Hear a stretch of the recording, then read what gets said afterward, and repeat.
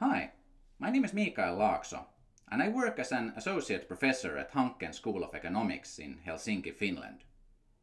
For over a decade, I've been researching the emergence of open access, and in that context, economic aspects have been shown to be especially challenging and important to solve at various levels.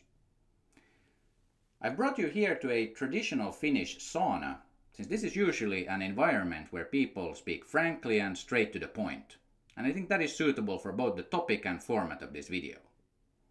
But hey, let's get started covering some central points relating to the economics of open access.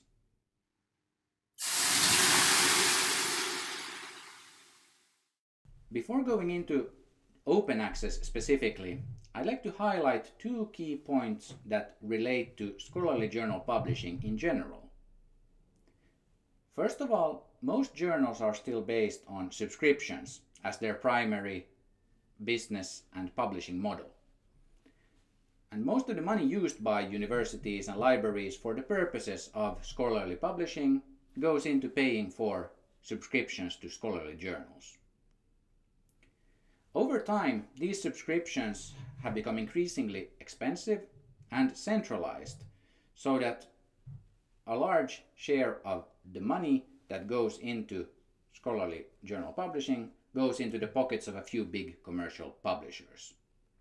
And these big commercial publishers haven't really had any reason to hurry up with a rapid full transition to open access since the su subscription based model has been so profitable and reliable over a long period of time. The second aspect I'd like to highlight before moving on to open access is that authors of articles receive no royalties for selling access to their work. So paywalls of subscription journals have been set up to protect the financial interests of journals and not those of authors.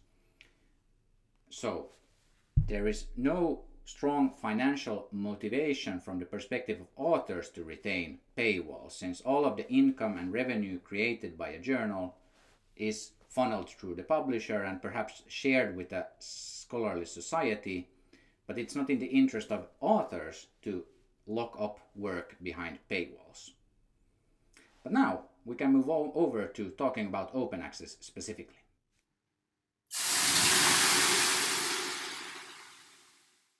You still with me? Good. We've now reached the main part of the video where I'll present some, in my view, essential concepts uh, and topics for better understanding the economics surrounding open access. I'll be jumping a bit when it comes to focus points and analysis levels, so rather than trying to create cumbersome segues between them, since I'll be moving at a pretty brisk pace due to this video being short, I've decided to split each separate uh, aspect into a separate video segment. Let's start with the first one.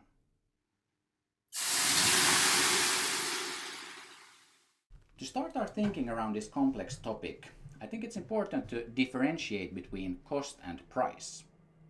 Because just by looking at the final price of something, it's rarely possible to tell what the actual costs have been to produce the service or product. For commercial companies, there's often incentive to try to lower costs and increase the price in order to maximize profits. While non-profits and charitable organizations might try to sell things at cost or even uh, get costs covered by some other mechanism than baking it into the final price of a product.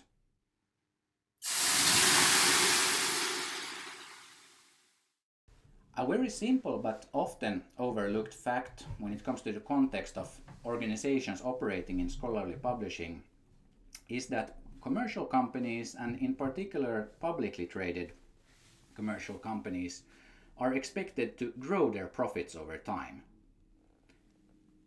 That growth can come from increasing the pricing of existing products and services or then expanding into new segments, coming up with new products and services. But there needs to be revenue growth because a large part of the share price on the stock market uh, is constructed around expectation of future profits and how those are going to grow. And I think this needs to be kept in mind as soon as we start thinking about lowering costs and how to transition from the current fairly expensive subscription based environment to something that is built around open access.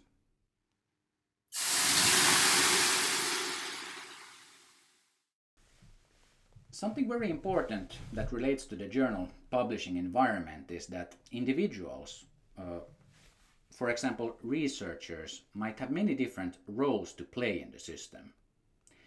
They are probably readers interested in reading the works of others. They are perhaps authors wanting to publish their own research in journals that they know their colleagues and peers will read. They are might be reviewers reviewing the works of others to be published in journals, and they might even act on editorial boards of journals. So they have many different potential hats, and that makes change challenging when it comes to making journals interchangeable or commodities, so to say. And that's also putting pressure on library negotiations with publishers because the faculty and affiliated researchers might be very attached to certain journals by certain publishers, making hard bargaining challenging.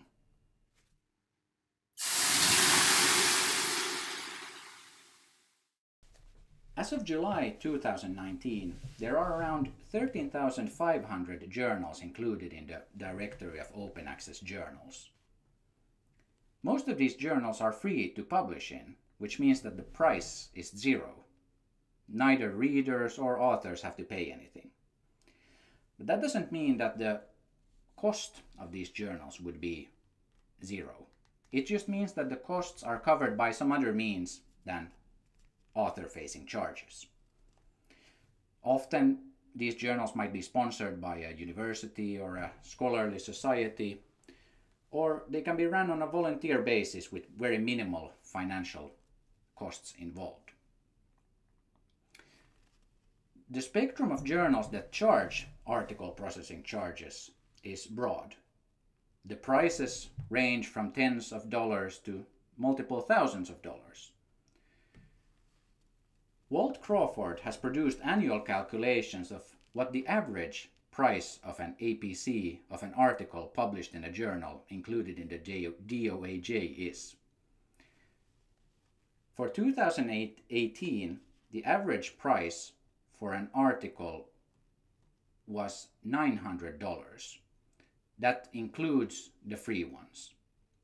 If we only look at journals which charge a fee, the average price was $1,500.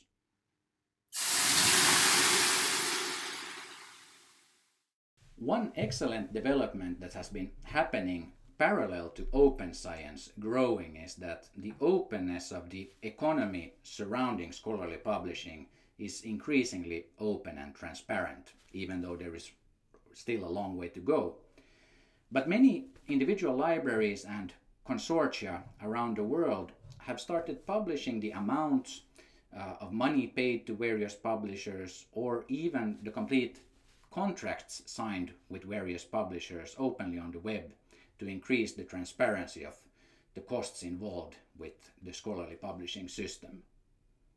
One great initiative related to this is the Open APC initiative, which is also a website where institutions from around the world are submitting article processing charges they have paid which makes it possible to look at the costs of publishing on a journal level, uh, publisher level, or even in some cases a national level if the data is comprehensive from that particular country. I really recommend looking up the Open APC initiative to see where transparency in terms of these prices is going. I think a really fascinating topic in the context of scholarly publishing is market competition.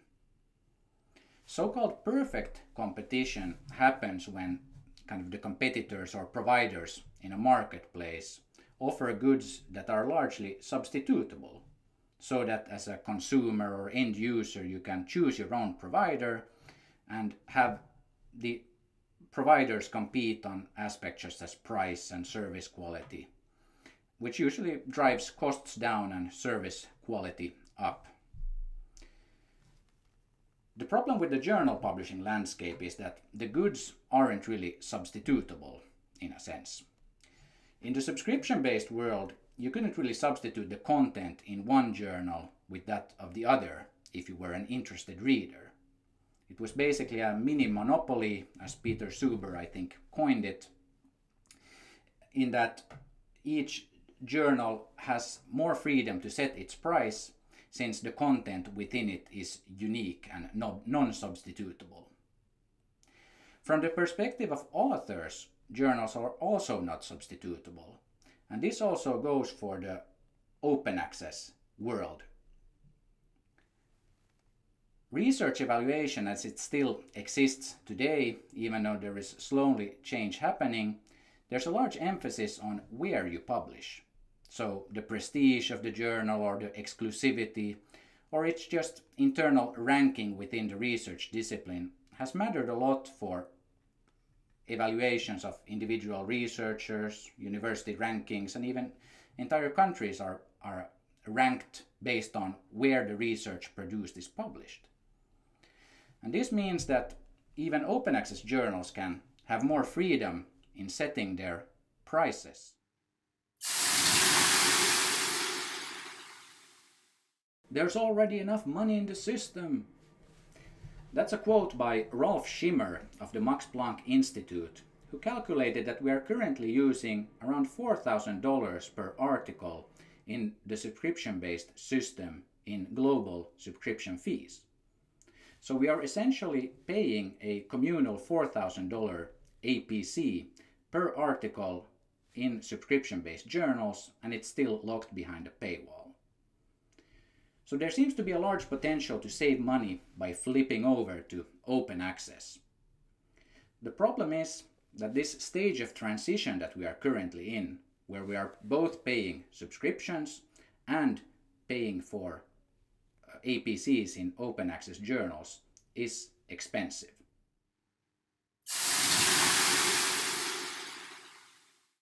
Article processing charges are deceptively simple, I think.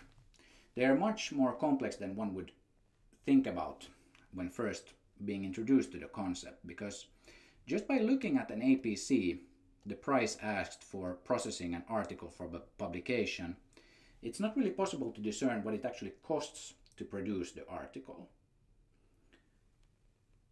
Some of the numbers I've seen reported recently put the price of producing an article through professional publishing and copy editing processes at, in the hundreds of dollars rather than the thousands asked by some journals.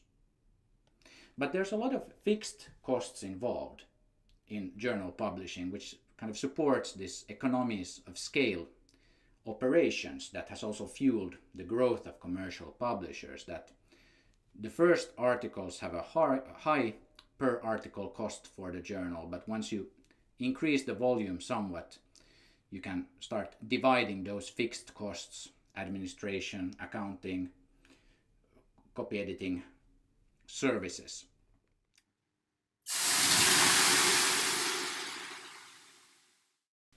I would like to highlight a kind of cautionary note when we are now thinking in the lines of economic efficiency and flipping entire publishing systems from one to the other and, and kind of thinking outside the box is also including global inclusiveness because we shouldn't just be moving the paywall from readership to authorship. That's a large risk for the research system as a whole and even though most open access journals have waiver policies and differential pricing for, for authors from different nationalities, I do not see the future, the long-term future for open access publishing to be based off of individual APCs and exceptions to payment of those APCs to be kind of optimal solution. It has many problematic aspects. So I would personally prefer to see more back-end solution, more system level funding rather than tying each article acceptance to a financial transaction and, and, a, and a process like that.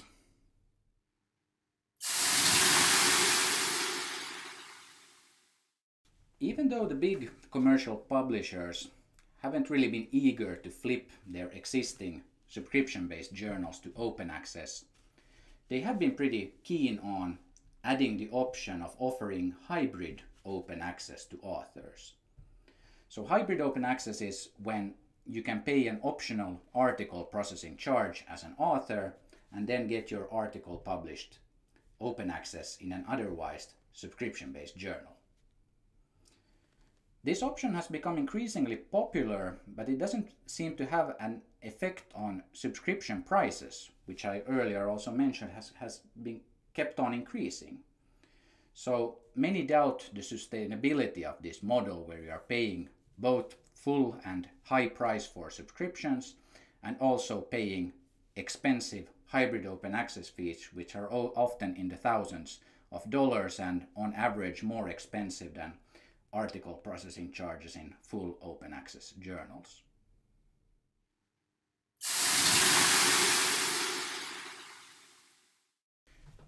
I think many, especially early on in the development of open access publishing, thought that maybe open means less expensive and maybe even free. But at least in the context of large commercial publishers where open access has been introduced as a component to publisher agreements, that has not been the case.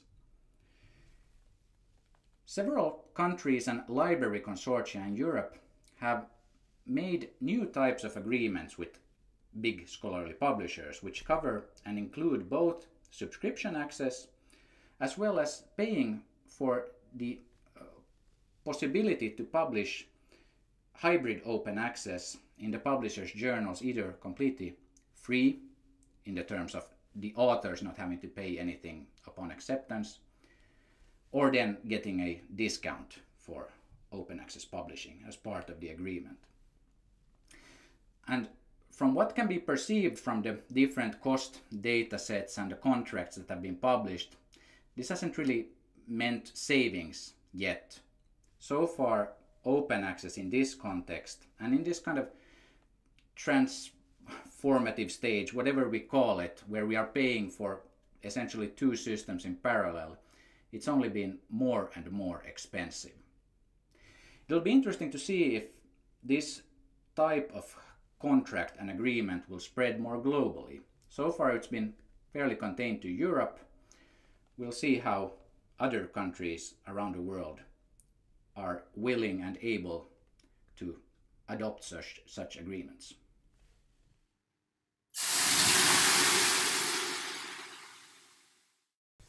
I think it's also important to acknowledge that science policy has been quite a force affecting both the economics of open access, but also which types of models have become more or less established in the landscape. Science policy can come in many different flavors and from, from various directions, but uh, research funders have been one very visible and impactful force, shaping in particular open access. Research funders might have mandates on what type of open access they accept or a maximum amount of money that they will reserve and give for paying an article processing charge. And of course, all of these decisions shape in what way open access develops overall, also outside of the funded research. There's also the element of science policy when it comes to national funding of journals. So national journals might get support depending on what publishing model they adopt. For example, in Norway, journals which publish open access get governmental funding while subscription based don't. So that's of course a very strong incentive to flip over to open access. So I think it's important to keep in mind that it's not only the pure economics in terms of demand and price that guide things and shape things in the context of open access. Science policy is also a very important force to be reminded of.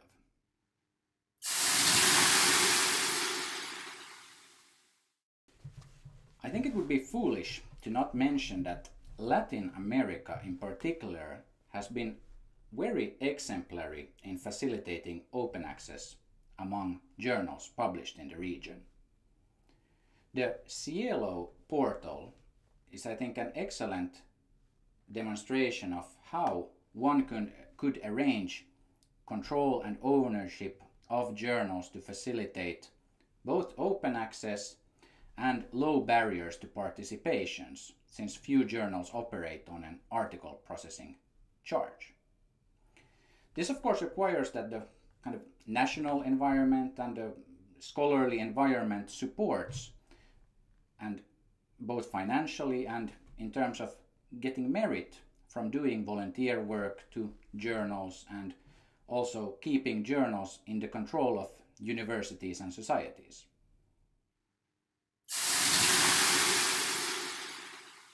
There's currently great promise in so-called library consortia funding models for operating open access journals.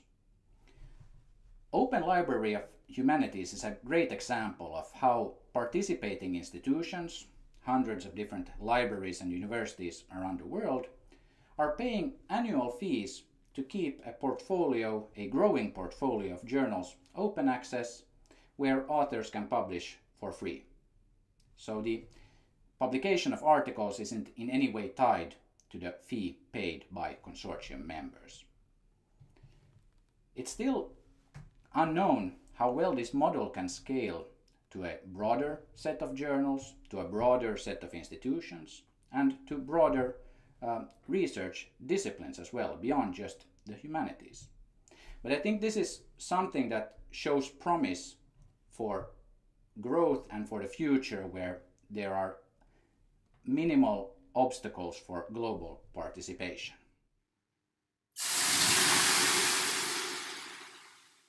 I can really start to feel the heat now, so I have to remove myself soon. But before I go, I want to thank you for hanging on this long, and I have two concluding remarks before I let you go. The first one relates to this discussion that's been so fixated on money in this video. And I think the key point with doing research shouldn't be about money.